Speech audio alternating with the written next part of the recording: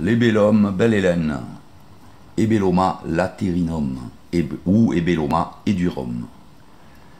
Le chapeau peut faire de 4 à 10 cm, maximum, grand maximum. Il est beige à reflets rosacés un petit peu, et il a la particularité de se tacher assez vite de brunâtre par endroits, le chapeau. Il pousse sous pin et sur terre calcaire, mais souvent on le trouve dans les forêts mêlées de pins et chênes. Voilà le chapeau, ses couleurs. Le bord peut être légèrement cannelé. Longtemps consommé, il est aujourd'hui classé non comestible en raison de sa trop grande confusion avec des espèces toxiques des volums.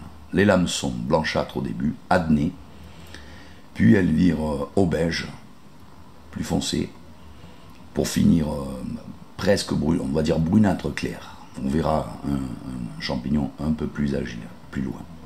Le pied a cette particularité d'être brunâtre, presque noirâtre à la base.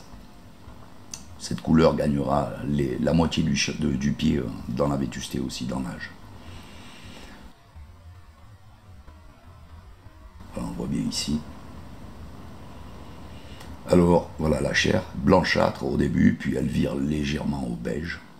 Ce champignon est appelé Belle Hélène parce qu'il a l'odeur de la, poire Belle Hélène. Il a une odeur de chocolat avec un, un de poire derrière, d'où le nom du dessert Belle Hélène.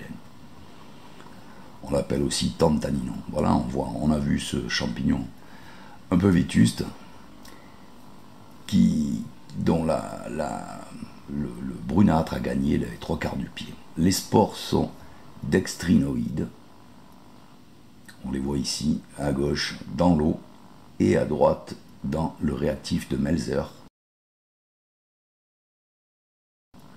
On voit les chélocystides ici qui permettent d'assurer l'identification.